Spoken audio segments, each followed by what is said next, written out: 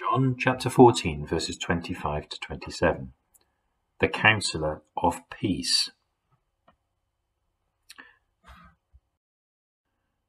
All this I have spoken while still with you. But the Counselor, the Holy Spirit, whom the Father will send in my name, will teach you all things and will remind you of everything I have said to you. Peace I leave with you. My peace I give you. I do not give to you as the world gives. Do not let your hearts be troubled, and do not be afraid. Hello, and welcome. So far in our studies in John 14 this week, we've seen how Jesus' promise of the Holy Spirit will lead to love and obedience.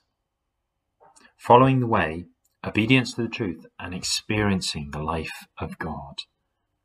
In verses 25 to 27, we are told more about the teaching ministry of the Holy Spirit and how this counselor brings peace. We need to be a bit careful as we read this, not to read ourselves directly in too quickly. Jesus is speaking with the disciples who are with him.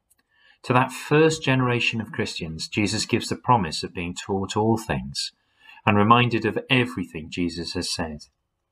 This is important for the authority of the New Testament. Matthew and John wrote their Gospels under the guidance of the Holy Spirit so that we receive Jesus' teaching through them. Mark, writing earlier, preserves the teaching of Peter for us.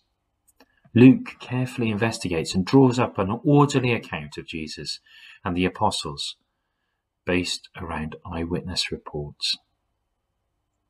Paul, James, Peter, John, and Jude's letters interpret Jesus' life and teaching with similar apostolic authority. We can have confidence in them because they were guided by the Holy Spirit to write the words God wanted. They did not come up with their own ideas about God, but rather were reminded of what Jesus had taught and more fully understood what it meant under the inspiration of the Holy Spirit. Jesus encourages them that the Holy Spirit will be their teacher and then promises peace. Peace, shalom, was a Hebrew greeting, but also a farewell. He reassures the disciples that though he must depart, he leaves behind his peace. He gives them his peace. The disciples would not lead easy, comfortable lives, but they did have Jesus' peace in the midst of their difficulties. Ezekiel 13:10 warns against those who pronounce peace when there is no real peace. Jesus through the cross and resurrection can offer true and lasting peace, a gift of peace unlike the world's fleeting pleasure and everlasting pain. Jesus repeats the instruction of chapter 14 and verse 1.